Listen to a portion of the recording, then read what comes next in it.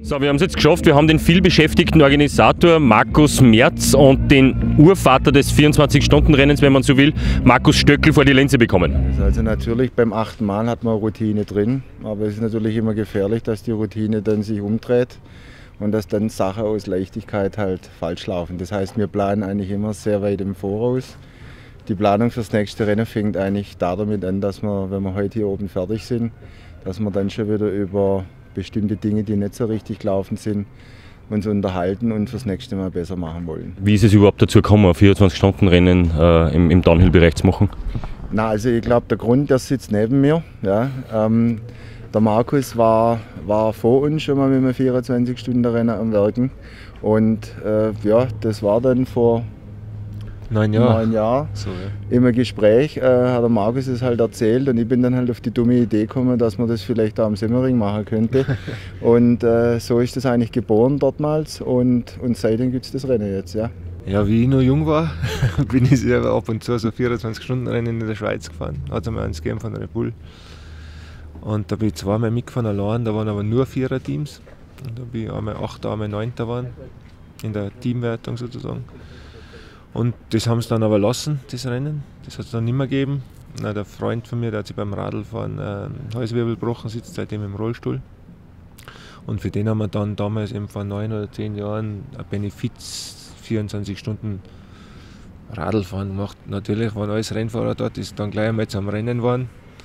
Und das hat der Markus dann halt fortgesetzt. Glücklicherweise. Ja, muss man wirklich sagen. Weil ich finde auch, dass es halt einfach ein, echt ein geiler Event ist und die, die Leute, die mitfahren, da sitzt dann immer wieder mit neuen Leuten in der Gondel und jeder hat Probleme und jeden, aber jeder fährt weiter bis zu einem gewissen Grad halt. Das ist schon geil.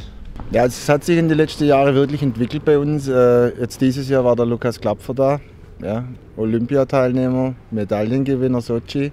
Letztes Jahr war der, ben, der Benjamin Karl da und die zwei Jungs schlagen sich gut. Also kommen nicht unbedingt jetzt rein aus dem Downhill-Sport, ja, aber sind halt Profis, sind Ausdauersportler und die geben hier Gas und das freut uns natürlich auch, dass jetzt ganz einfach aus dem Downhill-Zirkus jetzt eigentlich auch in andere Sportarten die Geschichte sich reinentwickelt und dass da halt auch wirklich dann auch prominente Teilnehmer dabei sind. Die tun uns gut, die tun alle gut, die tun den ganzen Sport gut. Das Ganze wird einfach populärer ja, und die große Masse bekommt es mit.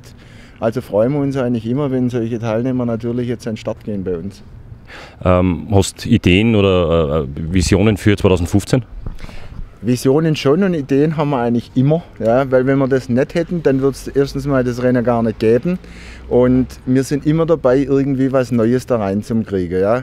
Diese haben wir es eher normal gemacht. Vor ein paar Jahren hat der Markus auch die Idee gehabt mit dem Last Man Standing. Das haben wir dann jetzt wieder bleiben lassen, aber wir haben vorher schon wieder über was Neues geredet hier.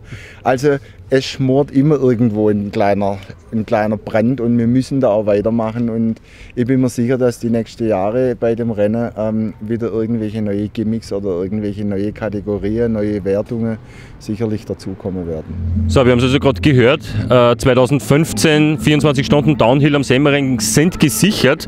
Äh, wir freuen uns über eine Neuauflage dieses absolut spannenden Events.